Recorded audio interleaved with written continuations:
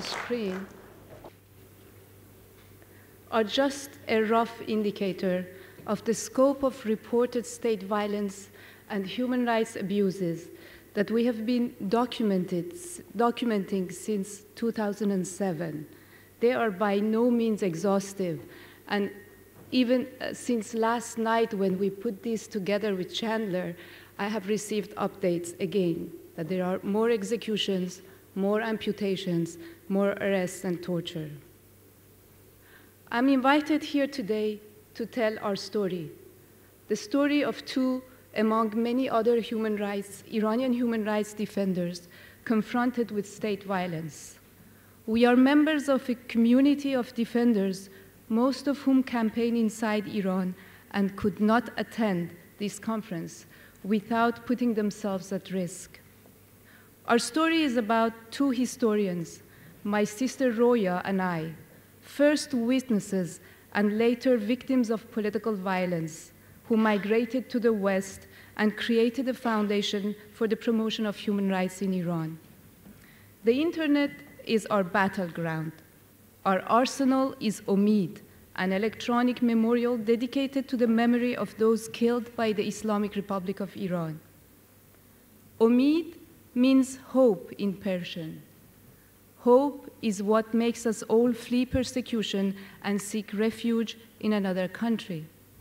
Ironically, the persecution we had fled caught up with us in Paris. Our father, Abdurrahman Boroumand, was a lawyer, a pro democracy advocate. And this was a crime for which he was extrajudicially executed on April 18, 1991. We had been living in fear for many years. We knew our father was at risk, even in Paris, for the Iranian government's killing campaign abroad started in December 1979 and continues relentlessly ever since. We had witnessed the crescendo of executions in Iran. The first executions took place only four days after the victory of the revolution. Victims had been tried behind closed doors in violation of all due process of law and the rights of the accused.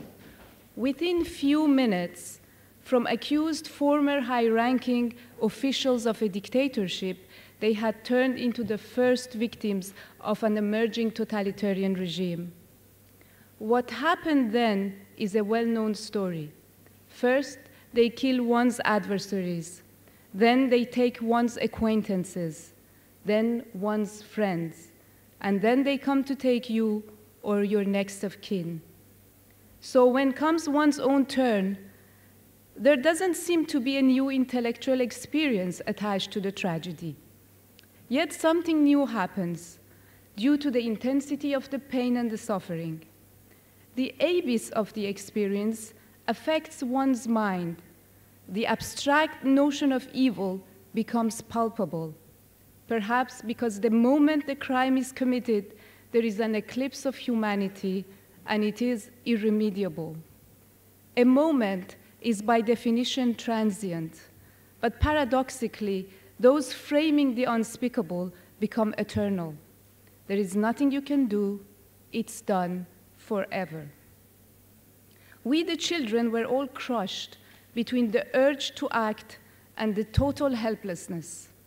Hence came the dark days of cohabitation with a crime that soils one's own soul and shatters one's self esteem, the loss of dignity. To recover one's dignity and overcome the feeling of guilt, one has to figure out how to do the impossible, how to remedy the irremediable. The first question we dealt with after such a traumatic experience is why and how the unspeakable happens.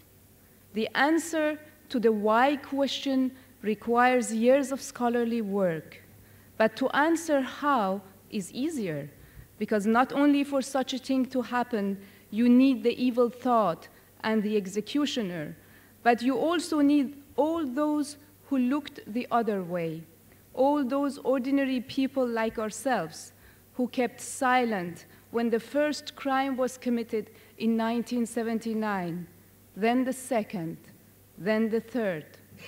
All those millions of innocent accomplices, us, I mean. Thus, to remedy the irremediable, we thought we should first make amends ourselves, take our responsibility, break the silence. The perpetrators killed to eliminate their victims. This cannot be undone, yet it is possible to bring them back in memory. By violating their victims' human rights, the perpetrators sought to deny their human dignity. To remedy such outrage, we could posthumously restore their human rights. Hence the idea of creating the Omid Memorial. In Omid, we acknowledge each victim's humanity and create a space for empathy. We provide their loved ones with a forum to talk about them and even to mount the defense that they were not allowed to mount when they were alive. There is no discrimination regarding nationality, gender, religion, political ideas, or charges brought against them. The most fascinating and courageous political activist gets a file identical to the most wretched and vile criminal. For as much as we want to shame the perpetrators, we ourselves need to comprehend clearly what universality means. As victims, we must understand that with regard to our human rights, nothing distinguishes us, any one of us, from the other. This is our way of making amends as ordinary citizens by acknowledging the wrong done to the victims and by telling the truth. For the truth is the indispensable path to reform. In its mirror, we can find out where we have gone astray and ponder the nature of the evil perpetrated by our persecutors, helped by our silence or our indifference. Let me end my story with a confession. I have the impression of being a usurper here today. There were so many other Iranian human rights defenders who more urgently deserved your attention and had compelling stories to tell. All those brave women rights activists who promote gender equality at the grassroots level and face daily government harassment. Please allow me to bring several among scores of them to this podium so that you could meet them and help human rights defenders obtain their release.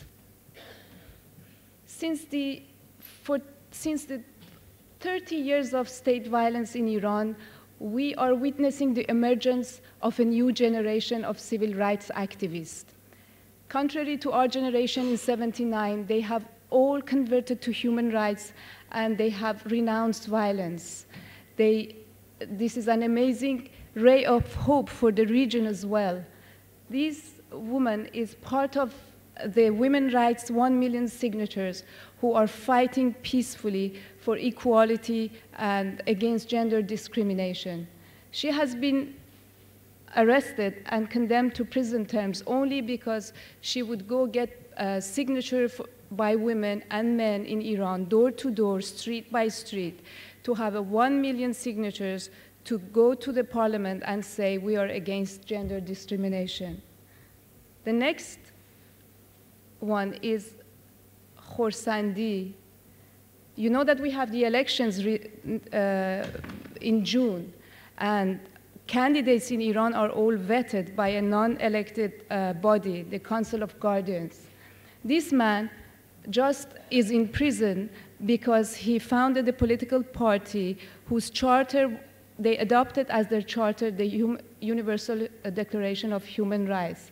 And that, that is the only reason and the block for which he has been condemned to five years imprisonment. So he cannot run for elections, and the elections are really a farce in Iran. The next one, Kabudvand, is an amazing, amazing human rights activist. He started the Iran Kurdistan Human Rights Organization. But what is wonderful, Iranian Kurdistan has been plagued with violence for 30 years. The state violence, the intensity of state violence is unimaginable. And the opposition also was a quite radical, uh, violent opposition uh, who took, uh, took up armed and armed re rebellion. The new generation is denouncing violence on both sides. Each year he would produce a human rights report that would blame as much the government, but also wouldn't shy away of blaming their own people and political opposition if they were uh, committing human rights abuses. He has been arrested. He is in a very poor health condition, and really he needs the attention of the international human rights organization to get him out of prison. These people are really precious capital for the future of Iran, and we, the what the government wants is just to destroy them. And that is what, as the human, international human rights community, we should not let happen. And the, the last one is a young boy, 15 years of age. His main offense is having spread the word about the execution of his brother last August. And his brother, he too, is from a violence-stricken region of Balu Iranian Baluchistan. He was one of these wonderful young fellows who renounced violence and tried to do a peaceful civil rights activism with courage and determination. And he was executed on trumped up charges of armed rebellion against the state. We could not save uh, Mehrnahad Yaqub but we should bring out his younger brother. Thank you very much.